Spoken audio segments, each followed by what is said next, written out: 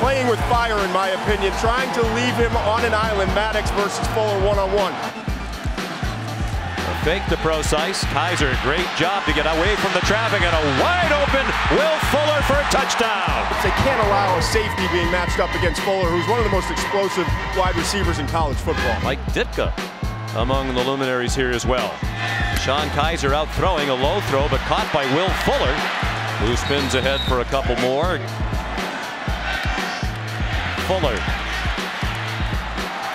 Wow, squirted through and it looked like he'd be down. He got very close to the first down. Had one rush against USC. Kizer, deep ball, single coverage, caught by Fuller. Touchdown again for Will Fuller.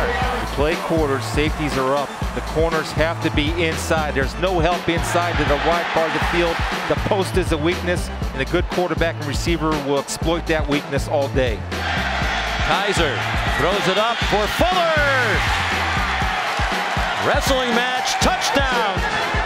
One at 5'9", the other at 6 foot, and we know that all ties go to the offense when both come down. That's a great effort by Maddox, but when you have an All-American wide receiver that is hungry for the ball and knows how to finish, especially in the end zone, that's the end result.